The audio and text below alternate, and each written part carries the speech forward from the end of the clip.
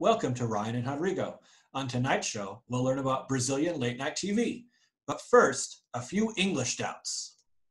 So, Ryan, um, I don't know.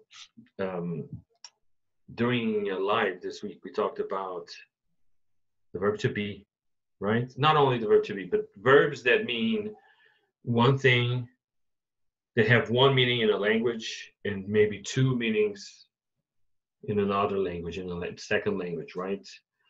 Um, do you have any?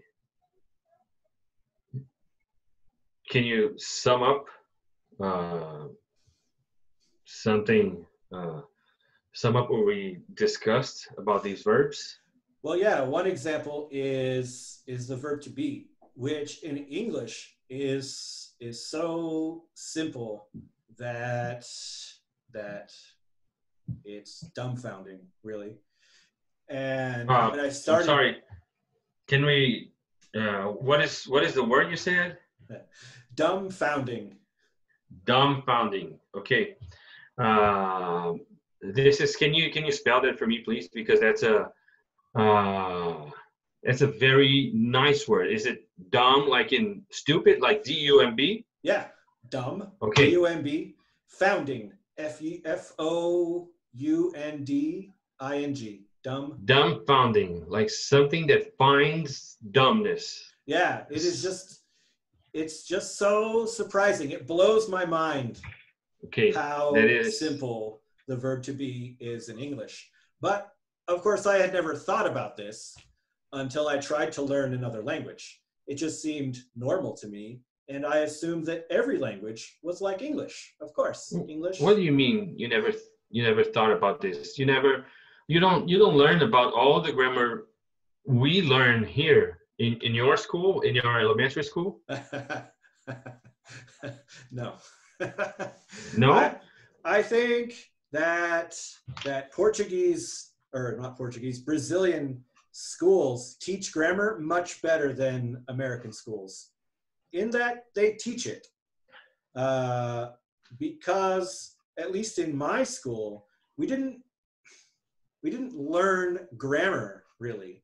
We uh, we learned how to read and how to write and how to speak and a lot of classes were practical classes about uh, today you're to write an essay or today you're going to make a speech for the class or today read a book and then tell the class what you read in the book but grammar like the rules and the structure of grammar was never taught so when i started to learn portuguese and one of the very first things that you have to learn in Portuguese is uh, the verb ser and the verb estar. And this was so confusing to me because in English it's just it's just the one verb. It's just to be. And and it took me a long time to figure out what was the difference between ser and estar. Because I couldn't figure out why there even needed to be a difference. Why? Why should there be a difference between like if in english i i am cold and i am tall? Well, um, something that really confuses a lot of our students is uh, like talking about age. Um, um, it's difficult for them to remember that you don't say that you have a certain age, that you are a certain age, because the concept is different in both languages. But let's not get too philosophical, uh, or we'll get to that later. Uh, the thing is, maybe just yeah, please. oh so so yeah i had to learn that in portuguese things that things that are temporary like today is a cold day and so i i feel cold today i say with estar i say that uh, O dia está quente. É, tá quente or cold. Tá frio. Okay, okay.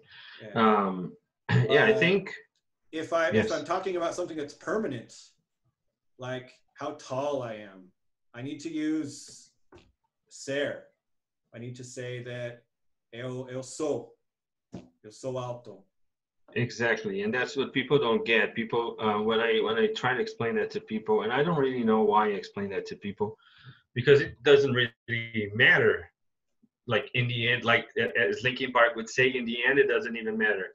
But uh, it really doesn't. You just use the verb to be, and it's just a verb to be used. You don't have to learn uh, what's behind the verb, the idea, and uh, no, you you don't need to. Uh, and the the biggest proof of that is that you guys don't learn that in school, right? And and everybody speaks English there. Okay, um, so uh, much better than we do, by the way. Uh, okay, ah, but much better than we speak English, not Portuguese. And also, well, but anyways, but do you think that happens because English is a English allows to be a bit less controlled, freer, or a, a bit more informal than Portuguese? I don't know. I now that I understand the difference between ser and estar and the different types of to be, I actually like it because it lets you be more specific with what you want to say and what you mean. And so I appreciate being able to to use two different two different types of to be. And in English it's it's sloppy. It's not very specific. And I don't like it actually. I appreciate the the Portuguese having these two different types of verbs. Um, yeah, it's simpler, it's easier, but it's not better. I mean, I mean, in, in Portuguese, you know, you know the situation, you know the state before the like in the second uh, after the second um, uh, word of the phrase of the sentence. And in English, you have to wait till the end. Yeah. When you say "I am," you don't know if you're if if it's permanent or temporary. Only when you say cold, then maybe. And even and even then. Exactly like you can be a cold person. Cold person. Like yeah, then you have to. Not a not a nice person is a cold person. Yes. So it's. So English depends great. more on context. Yeah. Okay. Uh, all right. Well, yeah. Also, there's a okay. The verb to be. Uh, yeah. Well, that's uh that's something to talk about for hours. But uh, the easiest thing to say is that to be uh, in English, it means temporary and uh, permanent, right? Depending on the context, depending on what's before and after, uh, depending on the situation, depending on everything. But in Portuguese, it just it means what it means. You don't need to go around, or you don't need to understand the context so much. You don't have to think so hard about the situation uh, in Portuguese because the language does it for you, I guess. Um, and something that I've found teaching students is that in English, the more the more advanced the English gets, Uh, this is obvious, the, the harder it gets, but the more impossible it gets to understand. Like English. In English because the rules stop applying and and everything becomes an exception at advanced english and so you really just have to go by your feeling by the context and you, you can't trust the rules that you learned in basic english but in portuguese it seems like if you can understand the rules and i admit the rules can be complicated and a bit difficult. But if you can understand the rules, then things get easier as time goes by because you just follow the rules and you eventually get to the right situation. Um, so I don't know. They're they're different languages that way, and it's my feeling on that. Okay.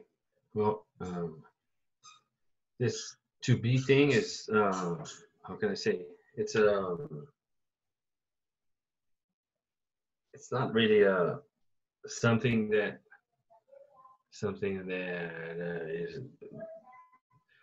it's not really a big question to our students. It's not really a big problem to students in general. The, this this specific thing, they don't even talk. They don't think about that so much.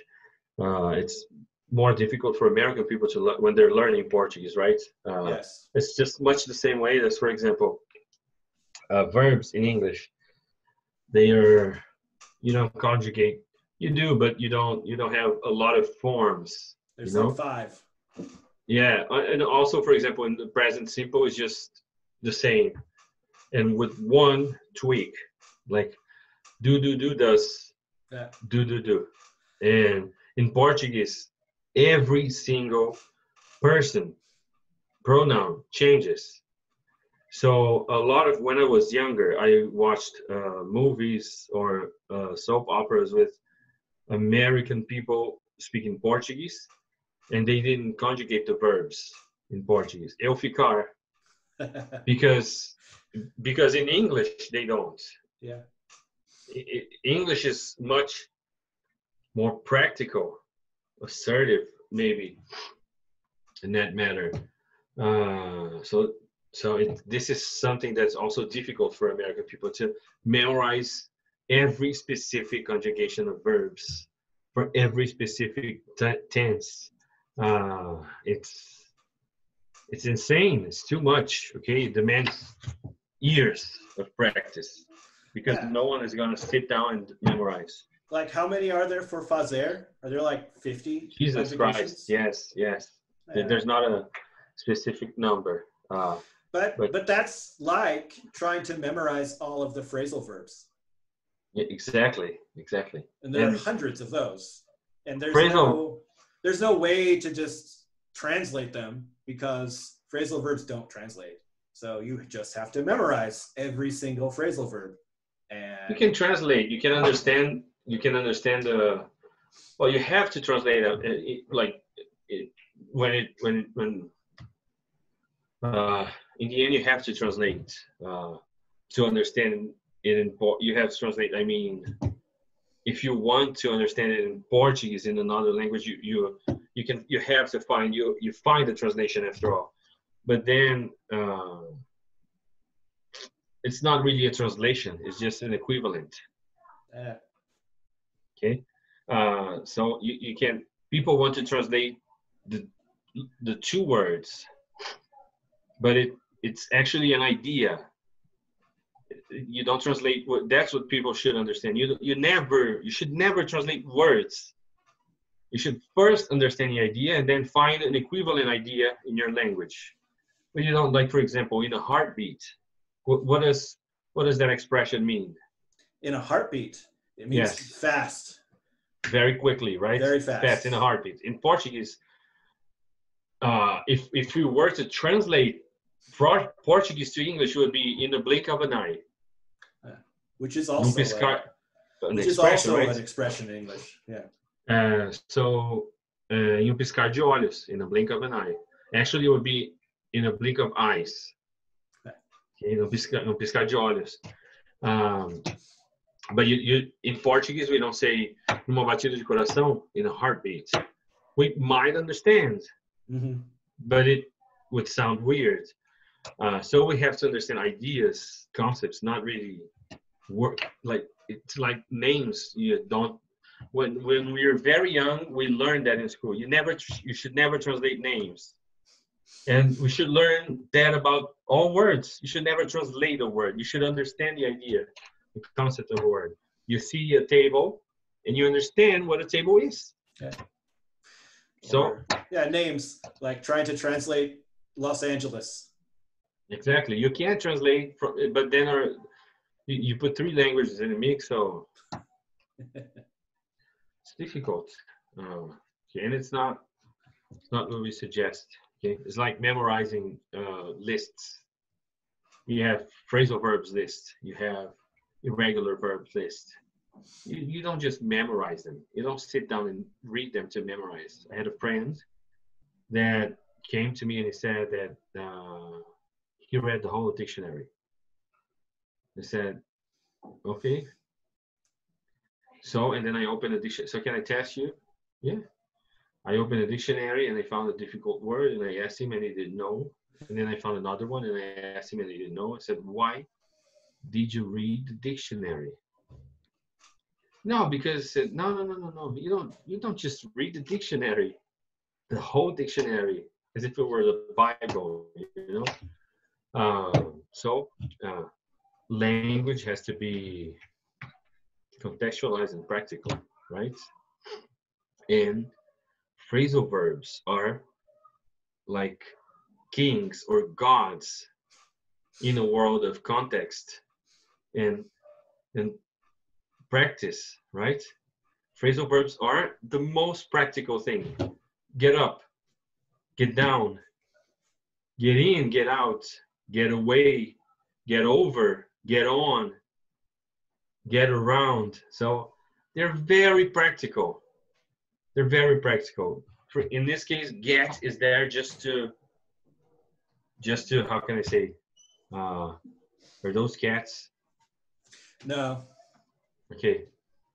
Um, because I, I'm afraid of cats. You have a dog now. Did you get a dog because you're afraid of cats? Exactly. So I got a very, very big, angry dog. I'll send you a picture later. Somehow I doubt that it's big or angry. She said. Uh, Uh, but anyways, so um, yeah, phrasal verbs are very practical. Phrasal verbs are like verbs with lasers, right? how? Try to explain this to me because I don't know where you're going with it. Verbs are just verbs, you know. Verbs are just specific actions. Okay. Phrasal verbs take verbs and they just like prepositions were just there, you know. they were around and about and uh, out and about. And then, um, as, as Rusty would say, out and about, Oot, right? Out, out the boat. Out, yes, exactly. Rusty are uh, people from Canada. Um, so they were there and they decided uh, we should join verbs. We should just get together. They're much more powerful. So, So they're like in a relationship, right? Or is it They're like in a relationship. a yeah. verb and a and a preposition got got married? And you know you you always know that couple that mix perfectly and then they they seem to be one you know?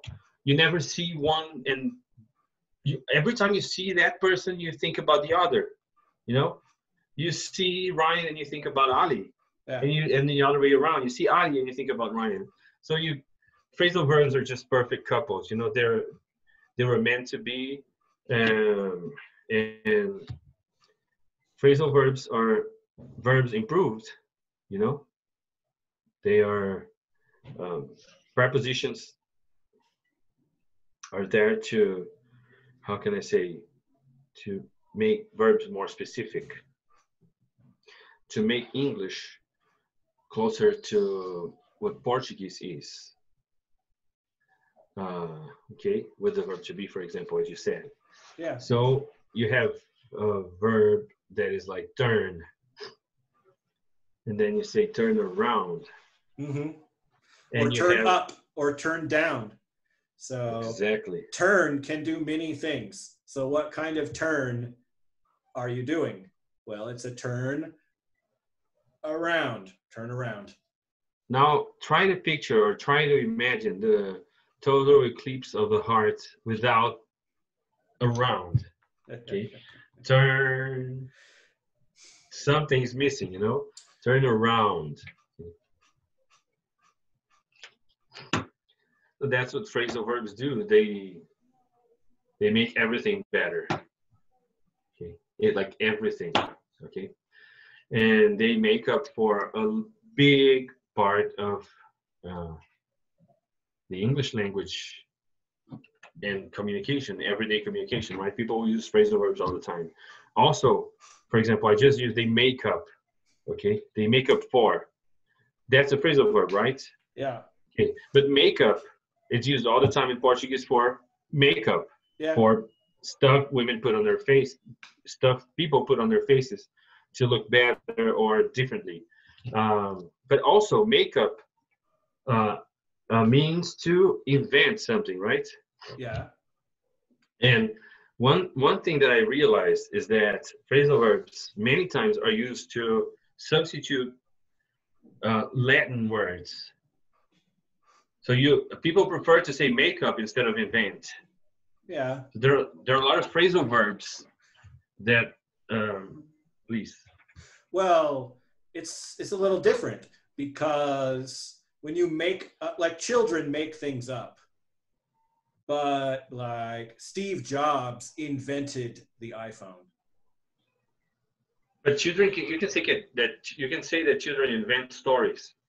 uh, well You don't, Yeah, but you can, you and can people understand. Exactly. So that, that's why that's why I say that phrasal verbs are verbs improved. You know, because Yeah. you, you can use the, the word invent, but makeup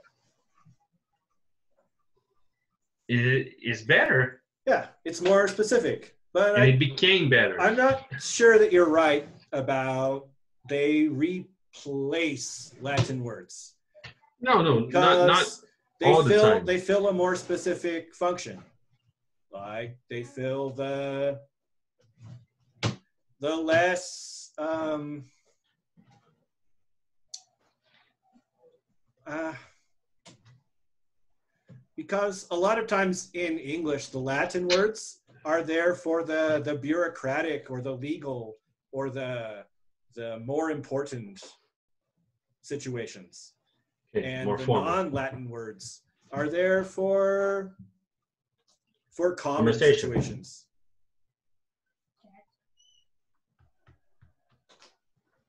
Understand? Yes, I do. Um, yeah, no, I. Uh, it's not that phrasal verbs always replace uh, Latin words, but some phrasal verbs. Um, I the, feeling I have first, the feeling I have is that phrasal verbs came after Latin words. If you compare phrasal verbs in regular Latin words, phrasal verbs are more modern or newer. So much so that you have uh, in British English, people use way less phrasal verbs than American English. American people use a lot of phrasal verbs. Um, and so, uh, what I mean is that uh, some phrasal verbs came to replace um, um, Latin words in a better way, you know, to, to specify Latin words a little, to give more specific details or specific meaning to definition to Latin words. It's not that they were created, that it's not that a, a group of people created and said, let's replace Latin words and let's create, let's create something to do that. So it just came to be, you know. Um, okay, so phrasal verbs. What are I I I exemplified a lot of uh, phrasal verbs with the with the verb get, right? Mhm. Uh, turn. We talked about turn, uh, and the the more general the verb, the more phrasal verbs you can you can create create. Uh, so, and also phrasal verbs are, how can I say, phrasal verbs have a life of their own. You can, even when you don't know a phrasal verb for a specific situation, but you know English and you're in Dutch with English, even if there's no phrasal verb for that specific situation, what I think, what I judge to be difficult. But even when there's no phrasal verb, you can create a phrasal verb. You can create phrasal verbs with any verb and a preposition. And it, it and people would understand. Most people would understand. If you know enough about English, you can just create a phrasal verb with a name, with a with anything. Can you um, I don't know. Uh, you use a name of someone that's dumb to say that somebody is doing something dumb, and so you say uh, the name of the person and, up, for example, or out. Like Fabio. Let's Fabio up this situation. And okay, exactly. So Fabio is someone happy, very happy and joyful and very nice. So we made the situation better. Okay, we made the situation uh, just more. Let's bring some. Let's bring some cheeseburgers and some Coca-Cola and some video games and just sit around and laugh and drink our our Coca-Cola and play video games all night. Let's Fabio up this. Let's Fabio up this party. Exactly. And people that know Fabio would understand. But if you don't know Fabio, uh, if I'm in a group of people that don't know Fabio, I would use let's Charlie Sheen up this party. that, that has a we different meaning. yes, exactly. So that's the beauty. Depending on the verb, in this case, Fabio or Charlie Sheen, it takes a completely different meaning, but specific. So phrasal verbs are amazing. And that uh, is what I was saying earlier about English rules not making sense when you get to higher levels. It's that anything can be a verb. You can make Charlie Sheen a verb. Exactly. Yeah, it's uh, whatever. Sure. But Charlie, Charlie Sheen, Sheen is a verb now. I'm pretty sure Charlie Sheen was already a verb because uh, it's Charlie Sheen. Uh, but if you try to do that in Portuguese, the grammar police will hmm. come to your house and arrest you. Exactly. exactly.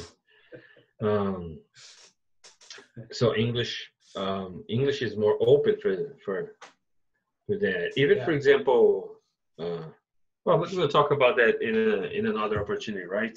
Sure. About uh, about how um, maybe we can talk about next uh, next episode about how, for example, uh, you guys allow yourself to even write in a grammatically wrong way. Like, for example, I see a lot of people writing should have instead of should have. I see a lot of people writing I should have did. I should not so much did, but I should have went. Writing. If you because when you talk, it's that's normal.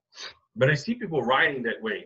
And when I the first thing I think as a teacher is like, oh Jesus. But then if I if I were to correct that person, they'll say, so no, it's I'm just talking to you. I'm just writing to you. It doesn't matter, you know. Oh, just forget about it. Why? Why should I? I know the correct thing. So, but in Portuguese, uh, if you do that, if you if you make a mistake, like for example, people mistake mas which is a conjunction, an adversative conjunction, mas, M-A-S, with mais, that means plus or more. People write that wrong all the time. And and just other people just correct them, straight up correct them. Like, no, you don't. And so uh, English is more, at least American English is more open for that, right? Yeah. Well, a lot of times people are wrong on purpose and I guess we can talk about this next time. So yeah, yes, yes. So um, and because that that's very cool. It's really really cool because uh, and actually, uh, we could exercise our first first graduation as social scientists in in even uh, in your case political science, right? Uh, and talk about how in Portuguese, for example, uh, as you as you move through a different social class, you make more or less mistakes. And I I don't really know if that happens in English uh, with poor or rich people. Uh, maybe maybe and because here in Brazil there are region difference differences.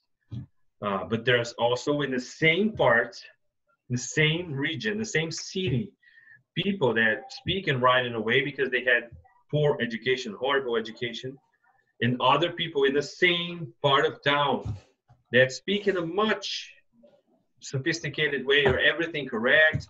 They know the grammar. They know like the sophisticated structures. Um, it doesn't mean that uh, the level of intelligence or or or wisdom is different, you know, or is is one is better than the other. But but the language uh, changes according the social class in Brazil. It changes a lot. Yeah. Um, I think it's the same, the same thing, and and the only thing that a lot of people who are maybe a higher class do is they know how to be wrong on purpose and other people of the same class recognize each other being wrong on purpose Okay. and it's like a it's like a dialect Okay. of the language so that only people who know how to be wrong on purpose to each other give each other status Okay. And they do that for like for example the very very famous marketing campaigns of both uh, mcdonald's and apple um, i'm loving it and think different these are both grammatically incorrect yes, yes. I always tell my students that. they're wrong but they're But wrong they're on genius. purpose Yes. and and so the people who thought up these strategies are very rich now and very very successful marketing people and they're that way because they were wrong on purpose Yes. and And uh, yeah. Yeah, I always tell my students that I'm loving it. That that's or think different. Um, think different is even better because it has so many different meanings in one in like in one sentence. In, not yeah sentence yeah. There's no there's no subject, but it is a sentence, right? There's a verb. So I'm loving it. It's beautiful. You don't you don't say you're loving something but then if you just if if the sentence were just I love it, it's just a normal sentence, a regular sentence. Everybody says that I love it, but I'm loving it. It makes you pay attention. It uh, what Yeah. what is that, right? Um, in Portuguese, that's not allowed. Uh, th- Oh. that's called, in, well, in English, to poetic license, but in Portuguese, for advertisements, uh, you know, it's not that it's not it's not allowed, but it would be maybe incorrect, you know, politically incorrect, or maybe just not cool. Uh, so they in, in Portuguese is amo muito tudo isso. And it sounds good. Amo muito tudo isso. But it, it's not as strong. And Apple is still in English. Think different.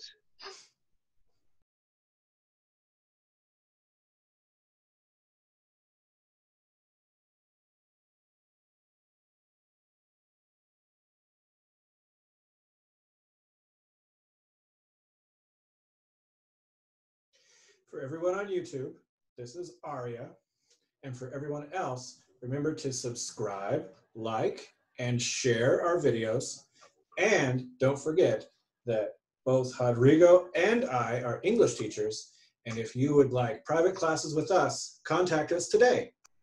something something very something very new here in Brazil, Ryan, is um, well two things. Last week we talked about stand-up comedians, right? Stand-up Yeah. comedy.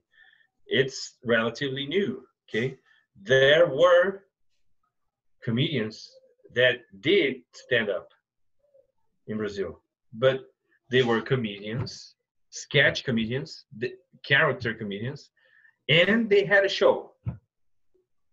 For example, Chico Anysio, which is our biggest comedian of all times, he had he um, he recorded a show in Madison Square Garden in the seventies.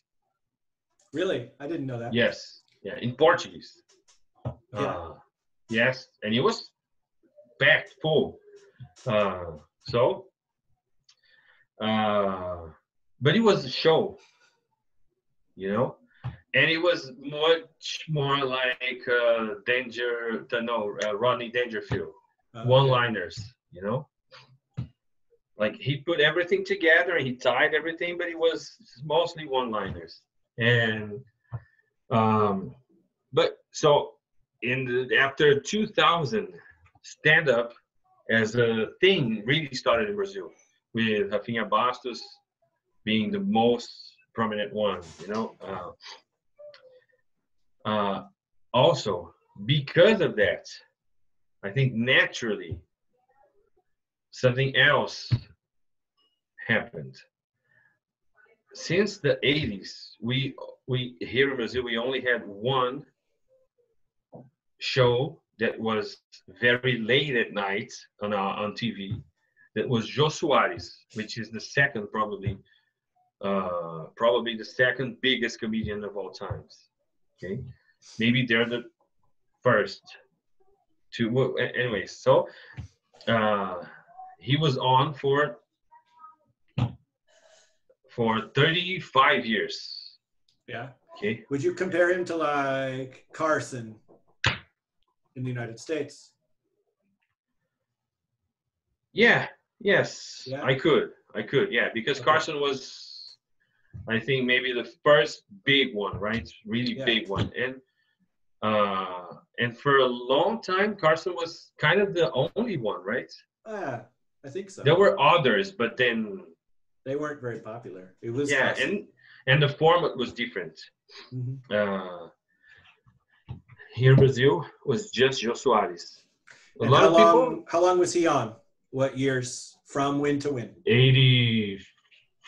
89 maybe Uh-huh. or 86 to 2016 15 Oh, recently. Okay. Yes okay uh before that he had uh, just comedy shows and so he was on for a long time and only Soares. so after 2000 a lot of stand-up guys started and the two most famous were Rafinha Bastos and Gentili and then Gentili is smart like business uh, business wise he's smart and he so he came up with the idea. He was on a on a kind of a political show you know cqc uh, and he interviewed politicians both left and right and he was famous he became famous. He took a beating of politicians and police officers and everything. And then he i guess he came up with the idea of having a late night show in the same format as the american uh, late night shows are uh, so Late night shows in- are today, or more like more like David Letterman, more like this format. more like this format okay more Okay. like this format more, more like the old format the old revisited format more like La- david letterman in 2010 okay, Okay. because it, david letterman in 1980 was completely different. Okay. Yeah. uh, so he started and he became very famous. And then after two three years he went to another a bigger uh, network. And then Rafinha Bastos filled in for him. Um, and then a lot of uh, networks felt like hmm, people like it. And Rafinha Bastos, Fábio Porchat, Tata Werneck, Danilo Gentili, a lot of comedians had their show, and Danilo Gentili still stands. And now, Tata Werneck. Okay, You think that there were too many shows? You think that they for for much? our reality, for our reality, yes, but it was like five, you know. Yeah. But he went from one, and in two months, five, you know. Uh-huh. doing the same thing, exactly the same thing. Okay, uh, and um, so Tata Werneck, Danilo Gentili, they still stand, and there's Pedro Bial, Pedro Bial, which is a reporter. He's not a comedian. He's just he's a reporter. Okay, very famous one. He's very intelligent. He's a very good reporter. Uh, he got he has a lot of awards, and um, he started one after Jô Soares stopped to fill in for Jô. but it's less comedy and more information. Okay, it is kind of there's a band, there's him. The it's usually usually hosts are here and guests are here, and it's the other way around. He's here and guests are here. Oh, Okay. Big change. Yes. Revolutionary. Well, there must be a reason that hosts are here and guests are here. And when you watch it, your your mind notices, and you all the time you're thinking that's wrong. What what are you doing? So, but that's a, de- a, a detail. So, uh, yeah, and I think it's to identify it. It's it's not exactly a late night show, you know. Um, that's the setting is very important. Uh, so, for example, Stephen Colbert, the band is here, but the host is here and the guest is here. Okay, Yeah. Jimmy Kimmel, Seth Meyers, all of them. Conan now is different, but still is here and here. now, Yeah, but the, the position is the same. It's just the, the table went up, um, the desk. And anyway, so uh, now the reality is Danilo Gentili. All the rest just got canceled. Pedro Bial will be there forever because uh, it's another thing, you know. Mhm. It's a late night show, but a, a different one. And Danilo Gentili. Now our reality is Danilo Gentili. Okay.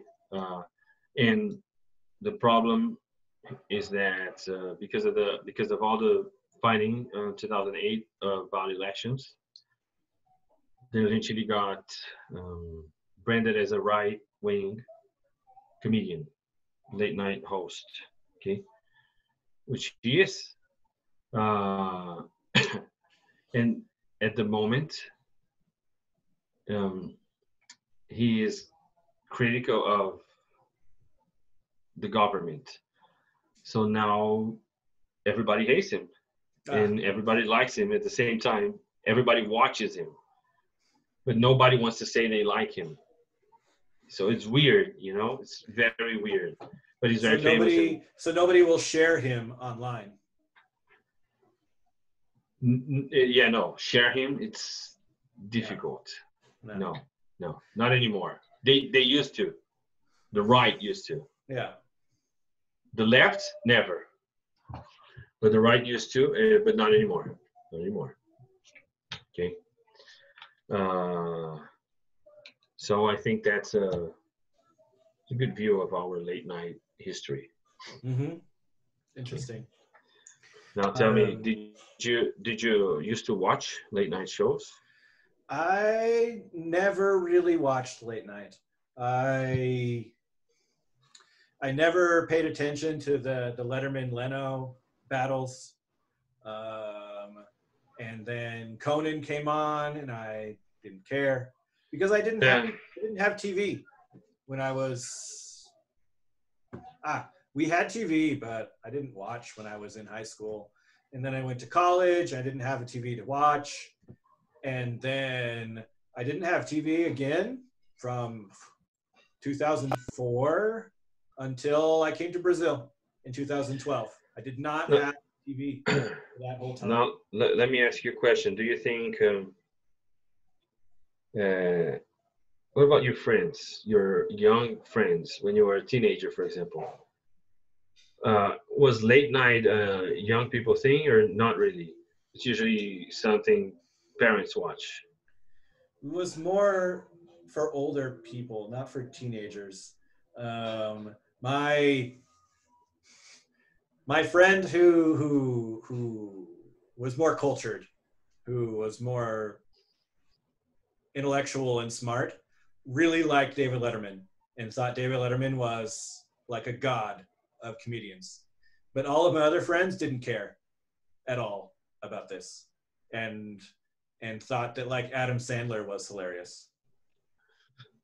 Yes, Yeah, he is. that's That's true, right? Yeah. Or Will Ferrell, you know, Adam Sandler, and then we graduated to thinking Will Ferrell was hilarious, you know. But the late night guys were not on our radar at all. and people like my grandpa love Jay Leno. Oh my God, Oh, my grandpa loves Jay Papa Leno. Jerry. Yeah, Papa every time that he goes to, well, not anymore because Leno's off, but every time that he went to California, he would see Leno every Oh. single time.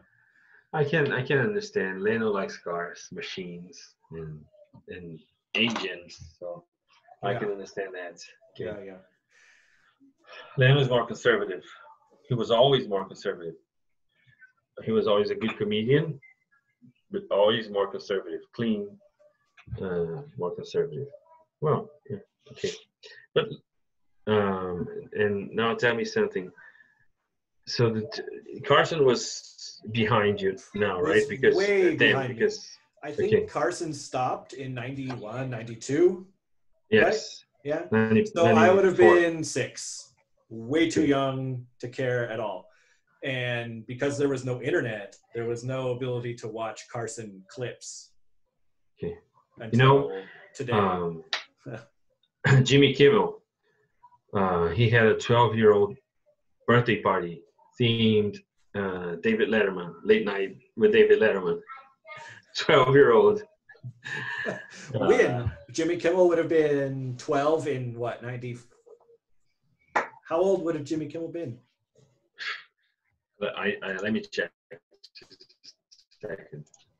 That would have been like Jimmy 1990, Kimmel. maybe? Maybe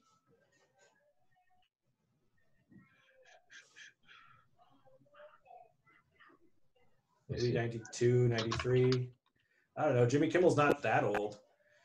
No, He just had a baby. just had a baby. Yeah, didn't you see? Last year, last year, I guess he had a baby. Maybe the baby's a year and a half old now.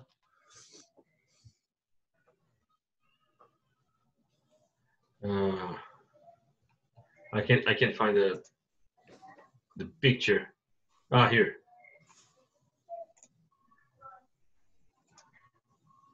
I found the picture. I'm trying to see how. Oh no no 18 not 12. Uh, Yeah. So it would have been the, the, the picture is it would have been 85. 1985. yeah about yes yes Yeah. um, Yeah, yeah. oh, I was trying to But- find But today, I really like watching old clips of Letterman and and Conan. I love old clips of Conan. He's he's Yes. the best. yes yes he is. Uh, He really is the best. Well, he was a writer for The Simpsons and Saturday Night Live in the 90s. So, Simpsons in the 80s, Saturday Night Live in the 90s. So, Yeah. he wrote the, the, the train episode for, for The Simpsons. So, Monorail, Monorail, yes. monorail, monorail. Yeah. Conan is amazing. Uh, so, um, And now, and recently, I've been watching a lot of clips of Conan with his his travel clips with Jordan Schlansky. yes, that's amazing. I like I like his uh, his bits with Sona too, with with all the crew. But uh, Sona and Jordan, Jordan's my favorite because they make fun of. No, he makes fun of Jordan all the time, right? Yeah. Uh, and sometimes uh, they just they just crack up and they they can't uh, they can't they can't hold it in. But Jordan is good at at it. He he never breaks character. Well, Mm. he does when he goes a little too far. When he takes Yes. character too far, then he can't handle it anymore and he breaks up. Yeah. Like he was talking about that this wine, it has the smell of That of, was- of moss and earth. and and even that he was a can't major break uh, of character. yeah, like that was huge, and he couldn't stop laughing. he couldn't He just, stop. Yeah, that was Yeah. amazing. yeah, yeah. And at the time he gets the, the cappuccino machine or an, ex, an espresso machine for his own office, and I like the, the I like when Conan does uh, reviews on everybody, and he just goes around destroying all the office. he throws chairs. Yeah, Conan is nice. Yeah. Uh, by the way, we have a friend. I think we, you mentioned our friend before, Fabio. If Fabio were to be a late night host, he would be Conan. Yeah, uh, oh, for sure. Yeah, he has the same spirit as Conan, just wacky, yes. wild randomness all of the time. Yes, exactly. Uh, okay. But and also, the, what about the the hosts today? What do you think about them? Because now that I yeah, now that they're all on the internet and I have TV and I have time, I watch I watch all of them sometimes. Kimmel and Fallon and Colbert. What do you think about them? I don't watch any of them. Uh, Kimmel, uh, Col- even their clips on the internet, you don't watch? No, not really. Kimmel, Col- no, I don't watch it. I don't watch them regularly. I watch some clips, you know. Uh, but Kimmel, uh, now I watch I watch the clips more for the for the person they're interviewing. Uh, okay. Okay. Uh, Kimmel, Colbert, Fallon, the other guy Noah Trevor. Uh, Noah Trevor is different uh, because it's the what was the name of the show? The Daily Show. The Daily Show, yeah. Um, but Kimmel, Colbert, Seth Meyers, um, and Fallon I don't I don't watch any of them regularly. I watch some clips if if I want to see the the uh, who they're interviewing, and but with Letterman, for example, uh, no, I watch Conan, of course. I still watch Conan, but with Letterman and Conan, I watch for Conan. You could just be Conan show, and I would watch it, and it is Conan show. And with Letterman, I watched because of Letterman. You know, I watched any interview, any all interviews I watched, um, and he would just make something out of the interview. You know, uh, and even Leno, Leno was a good interviewer, but it was much more um, just protocol interview. You know and people went there and he, they they shoot, no they, they talked about stuff. Uh, but Leno was good at keeping up with the conversation you know? Um, so now I I only watch Conan. Yeah Conan is what I watch.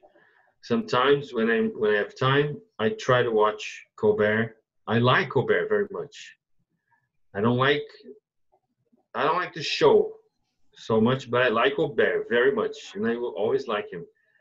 Um, I sympathize with Seth Meyers.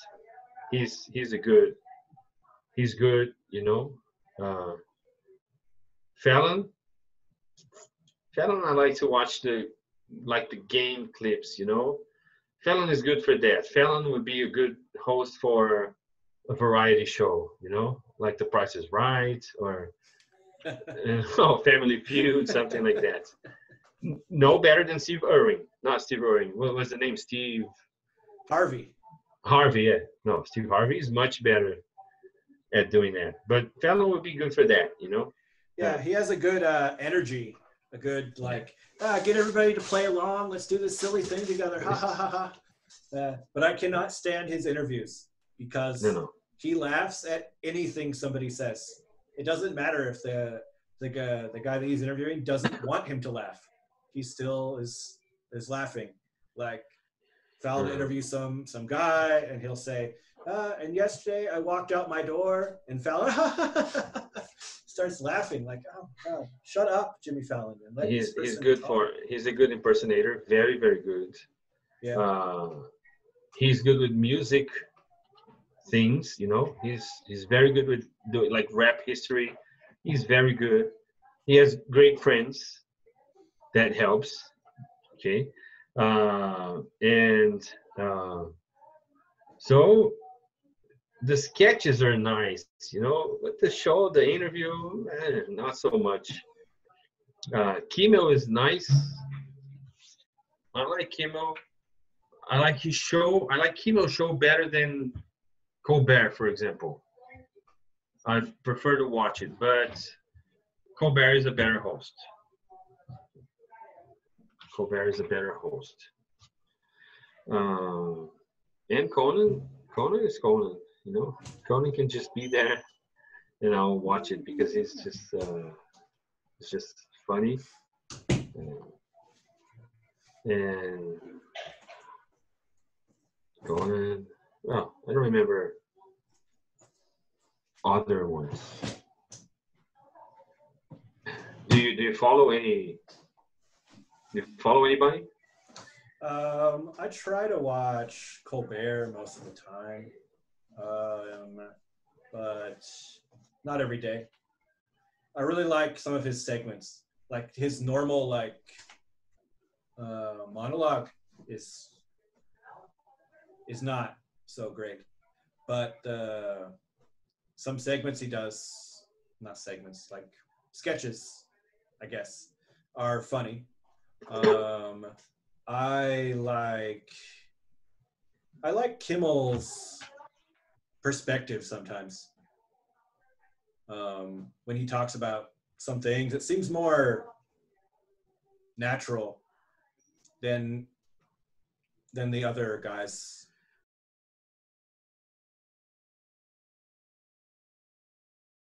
But before we go today, what are some some things that you've been cooking recently because I know you like to cook. I like to cook too. And now that we're stuck at home all of the time, cooking is is one of my hobbies, I guess, something to to do to pass the time. And so like yesterday I made a meatloaf and it's more like an American meatloaf than a Brazilian meatloaf. Oh, we there's no real meatloaf in Brazil. You know, meatloaf is an American thing. You know, uh, here in Brazil it's just uh, when when you're lazy and you don't know what to do, you you, you do a meatloaf. You know, uh, yeah. you make a you meatloaf. But it's a different style. I mean, it's not even the same. It doesn't look the same. Like Brazilian meatloafs that I've had are like meat rolls. Yes. You, you take a bunch of stuff with the meat and you roll it and then there's different layers because you roll like I don't know, yeah, different types of meat and vegetables all together. But uh, an American meatloaf, I I took some hamburger meat and chopped up some onions, chopped up some garlic, and poured in some milk.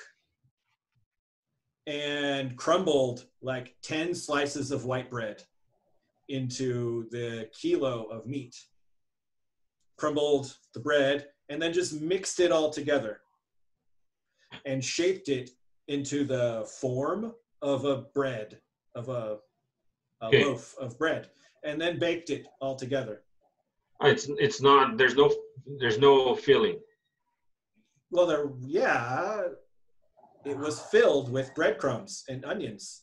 And but you you don't make a hole and fill them. it's just a it's it's a dough, you know. Yeah. It's a it's a bread, you know. Yeah. But a, it's a loaf. It's a loaf, exactly. It's a meat loaf. Yeah. Yeah. Okay. Like All right, I understand. No, but I, I never I never make meatloaf. Uh, what I've been cooking, I've been cooking very regular food, and I've been out of ideas because I have to cook all day, not all day, but every day. Uh, so I cook. Some days I cook some very simple things like uh, um, hot dogs with tomato sauce and rice. Nice. Just that. Some yeah, and it, Victoria loves it, but I I make that once a month because hot dogs in Brazil were just like made of I don't know wood, you know. Who knows? Who knows what they're made of in Brazil or in America? Who knows what hot dogs are made of? So I make uh, rice, beans hardly because hardly ever do I make beans because I don't eat beans so much. We don't usually eat beans around here. Rice and meats and vegetables. Uh, I don't like rice so much, so I like uh, potatoes, mashed potatoes, or or just steamed potatoes or baked potatoes with vegetables and meat, uh, mostly beef, you know, red meat. Um, and I make some pasta sometimes. You haven't cooked anything anything different just to experiment, just to try out? I made chili today, but it's not different because I usually make chili. You know, that's when that's when we beans. You made chili. We, I made chili. Yeah. Nice. That's a little. So, it's a little special. Not everybody makes chili. I, oh, I make chili all the time. Yeah, it's so do, easy. I know, but not everybody makes it. I. No, no, no, no. Nobody makes it. No, it's yeah. not nobody. Yeah. People don't usually. no, I understand. People don't usually make chili. No, I I do make chili a lot because it's so easy. It's just yes. it's the way I make it is simple. Easy. Yes, just like beans and meat. Yeah, hamburger meat. So. And maybe if you want some onions or pepper or. Yeah, but no, that's I don't even say what? that because it's not even necessary though. No, uh, so that's what I've been cooking, you know. Uh, yeah, yeah. Just uh, regular stuff. A lot of stuff with sauce. I've been buying a lot of tomato sauce, tomato paste, you know. Uh, and everything with sauce. I love tomato sauce. You know, I hate tomato, but I love tomato sauce. I buy a lot of uh, tomate pelati, you know, tomate pelado, like skin, ah. skin peeled or peeled tomatoes. It can peel tomatoes uh, a few weeks ago, I made a tomato soup with those. Oh, Jesus Christ! Tomato soup should not exist. And then, and then I fried some uh, some cheese sandwiches. So get some bread and some cheese, and just fry the cheese on the bread, and you dip the sandwiches in the tomato soup, and it's it's delicious. So you made tomato dip. But yeah, it's but, soup because it's hot.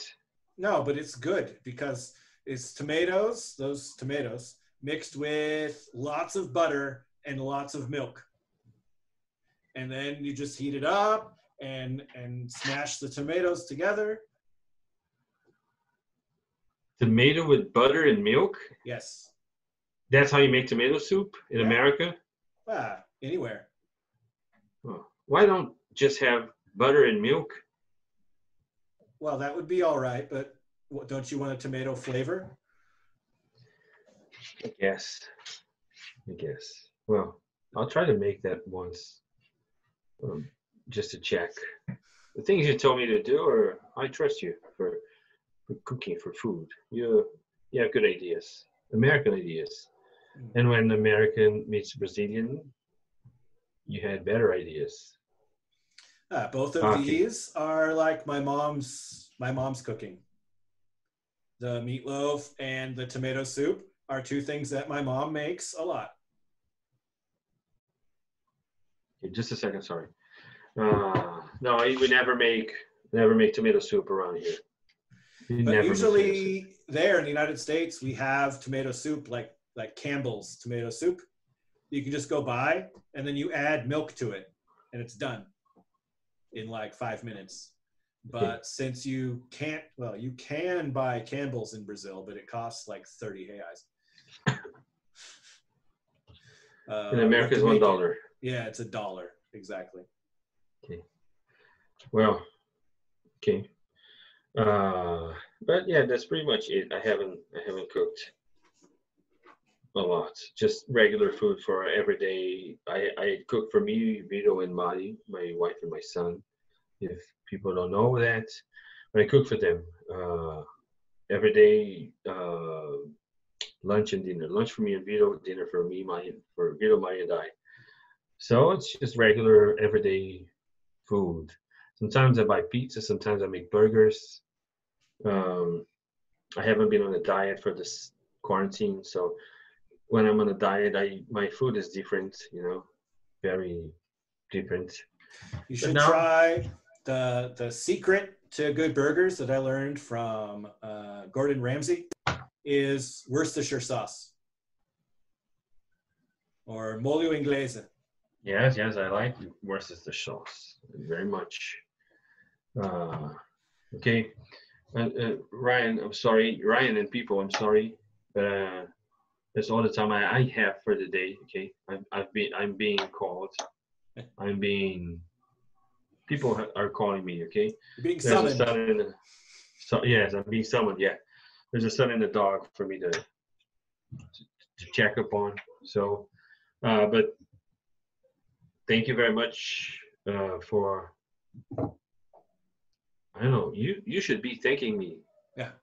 Thank you. Thank you for Thank gracing you. me with your presence. And and we'll see everybody next week. And check us Exactly. out on Instagram on our lives during the week. Uh, we try to do a couple, but check us out as often as you see us. So we'll see you there. We'll see you next week. Like us, share us, subscribe, do all those crazy things, and see you again next time.